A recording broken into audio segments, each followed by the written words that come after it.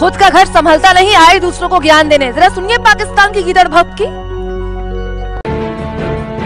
पाकिस्तान ने एक बार फिर भारत को आँख दिखाई है। पाकिस्तानी सेना के प्रमुख जनरल कमर जावेद बाजवा ने कहा कि उनकी सेना कड़े से कड़े मुकाबले और देश की रक्षा के लिए तैयार है। भारत अपना ध्यान बातचीत के ज़रिए शांति और प्रगति पर लगाए। हाल में भारत की ओर से संघर्ष विराम, उल्लंघन और उनके सैन्य नेतृत्व की तरफ़ से भड़काऊ बयानबाजी में इजाफा हुआ है। बाजवा एलओसी का दौरा करने पहुँचे थे और अपने सैनिकों के बीच ये बात कही।